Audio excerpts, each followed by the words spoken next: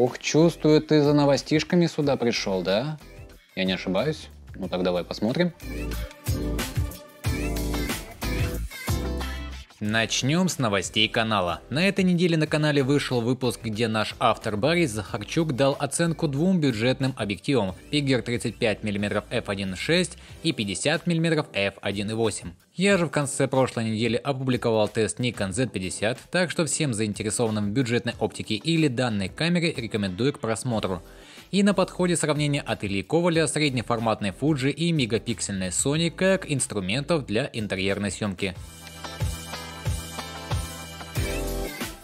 Начнем о наболевшем перегрев. Известные проблемы с перегревом EOS R5 и R6 сделали этот момент чуть ли не самым главным в потребительских оценках новых топовых камер, то есть греется или нет. После состоявшегося анонса Sony Alpha 7 III этот вопрос теперь крайне интересует и поклонников Sony, разумеется. И вот первый звоночек. Хью Браунстоун сообщил в своем небольшом видеоролике, что его Sony Alpha 7S III перегревается при ее использовании под прямым солнечным светом, даже в режиме 4К 30 FPS. Его камера перегрелась спустя 24 минуты. Но давайте выдохнем, тот же Хью сообщает, что у других блогеров такой проблемы не наблюдалось, даже когда те ставили камеру в духовку. Хотя это конечно очень странный тест, поэтому пока что можно предположить, что автору ролика банально не повезло с его экземпляром экземпляром. Ну и конечно от себя заверю, что в нашем тесте мы подробно осветим проблему температурного режима. Духовку ставить конечно не будем, но в комнатных условиях на всех режимах конечно проверим.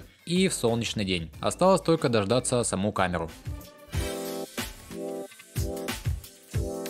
Новость для поклонников яблочной продукции. Компания Apple объявила о намерении отказаться от чипсетов Intel и полностью перейти на использование своих компьютеров процессоров собственного производства. Однако компания добавила, что перед тотальным переходом еще одно поколение компьютеров на Intel все же увидит свет. И вот этот самый компьютер анонсирован. Это iMac 27 дюймов с мощным процессором Intel последнего поколения. Дизайн нового iMac изменений не претерпел, только теперь добавилась опция выбора матового покрытия экрана взамен глянцевого. Техническая начинка iMac впечатляет. Новый 6 и 8 ядерный процессор Intel 10 поколения, объем оперативной памяти до 128 гигабайт, графический процессор AMD Radeon Pro 5000, добавим к этому быстрый SSD объемом 256 гигабайт с возможностью расширения до 8 терабайт и отличный звук динамиков и микрофона и получим весьма современную рабочую станцию. Но конечно давайте узнаем сколько же все это добро стоит. На этот вопрос ответила сама Apple. Базовая модель iMac 27 обойдется 1800 долларов. За эти деньги покупатель получит 6-ядерный процессор Intel i5 10 поколения, 8 ГБ DDR4, SSD на 256 ГБ и видео Radeon Pro 5300. Матовое стекло с нанопокрытием стоит дополнительных 500 долларов. Ну а дальше вы понимаете, апгрейды, удорожание и по итогу все это будет стоить очень-очень-очень-очень дорого. Ну это же Apple.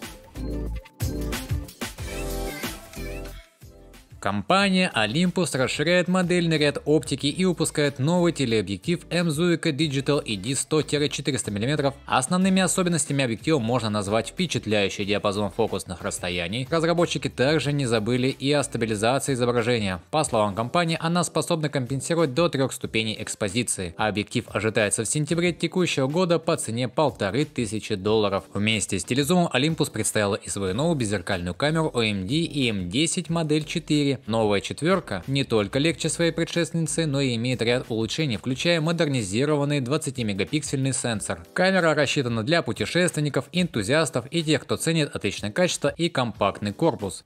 Помимо увеличения мегапикселей, конечно, есть и другие обновления. Удобный ЖК, который можно поворачивать в режим селфи, то есть на 180 градусов, и наличие зарядки через USB. Непрерывная серия с механическим затвором камеры также здесь немного быстрее, 8,7 кадров в секунду, а пятиосевая стабилизация изображения компенсирует примерно 4,5 стопов для улучшения качества изображения в условиях низкой освещенности. По видео традиционно для Olympus все довольно стандартно, это видеосъемка до разрешения 4К UHD 30 кадров в секунду, секунду, а также 1080p до 60 кадров в секунду и высокоскоростное HD видео 720p 120 кадров в секунду. Ну что я могу сказать, тут все традиционно для Olympus, я бы сказал по классике. В компании выпустила новую камеру, в которой не сразу поймешь в чем же разница с предыдущей моделью. И только сравнивая лоб в лоб начинаешь замечать различия. Давайте-ка вернемся к нашим горелочкам от Canon. Понимаю, это новость тривиальная, но все-таки требует оглашения. Геральт Андан, один из лучших технических обзорщиков фотокамер, недавно завершил исчерпывающее тестирование перегревов при записи видео на EOS R5 и R6. И в общем говоря, результаты вы можете увидеть в таблице на экране. Но давайте оглашу. Если мы записываем на Canon R5 на внутренние носители при записи 8К, у нас наступает перегрев за 19 минут. При 4К 120 fps 13 минут. Если записывать 4К 24 High Quality, то перегрев наступает через 27 минут, а если с такими же параметрами использовать внешнее записывающее устройство, то перегрев наступает примерно за 42 минуты. При 4К 60 кадров в секунду с полного кадра перегрев за 31 минуту, а на внешнее записывающее устройство все отлично и никакого перегрева нет. У Canon R6 ситуация немного иная. 4К 60 кадров в секунду за 35 минут перегрев внутрь камеры и 57 минут перегрев с использованием внешних записывающих устройств. При 4К 24 кадра в секунду камера перегреется за 40 минут, а с использованием внешних устройств все отлично. И сразу возник вопрос, а в принципе имеет ли смысл писать такие массивы данных внутрь камеры или может сразу стоит использовать внешние записывающие устройства? К слову говоря, на фоне всей этой темы с нагревом, перегревом, в сети начали активно появляться слухи о том, что компания Canon якобы собирается приостановить или отложить поставки камер R5 и R6. Тем не менее, представительство Canon Австралия ответили конкретно на данный вопрос. Цитирую, эти предположения не соответствуют действительности, нет никакого отзыва камер и также нет никаких задержек поставок на местах. Хотя, конечно же, слухи звучат довольно логично, но как бывает в таких ситуациях, они ссылаются на какие-то анонимные источники, которые ничем не подтверждены но на то они слухи. И еще немножко о Canon. Согласно последней информации, появившейся в интернете, Canon активно работает над PowerShot G3X модель 2, модернизацией своей компактной камеры класса так называемых суперзумов, что логично, поскольку текущая PowerShot G3X была выпущена аж 5 лет назад. Подробных спецификаций пока что нет, однако интересен тот факт, что старая модель заметно подешевела. И если раньше стоила 63 тысячи деревянных, то сейчас она стоит 50 тысяч.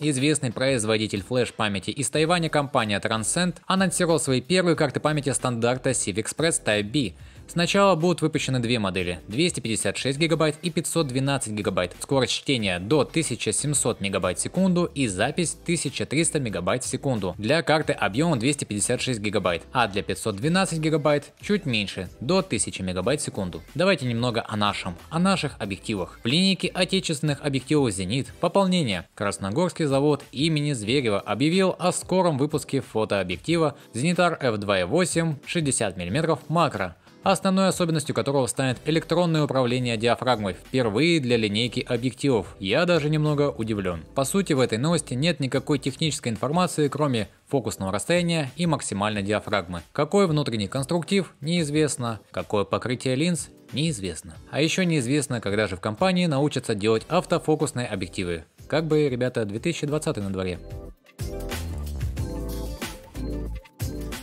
Итак, друзья, это были все новости на сегодня. Ой, кажется, пятнышко увидел на линзе. Надеюсь, вы этого не заметите. Вроде не видно по картинке, да? Не видно? Я не вижу. Но я вижу пятнышко. Отвлекся. Это все новости на сегодня в видеоформате новостей. У нас есть еще печатный формат, это веб-сайт, а еще есть Telegram чат, целых два по фото и видео, и веб Сайт я уже сказал, но есть еще соцсети. Этого я еще не сказал. Да, соцсети. ВК, Facebook, Instagram.